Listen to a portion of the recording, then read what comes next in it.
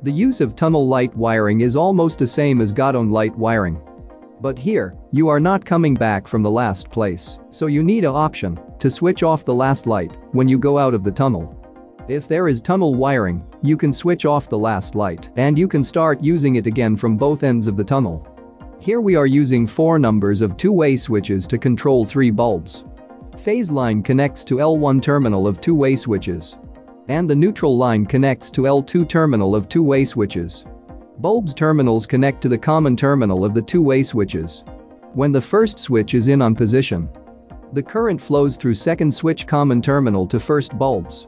When the second switch is in on position, current flows through the third switch common terminal to the second bulb. When third switch is in on position, the current flows through the fourth switch common terminal to third bulb. When the fourth switch is in on position, there is no current flow to any of these bulbs. If you liked this video, please subscribe our channel for more videos about technical doubts.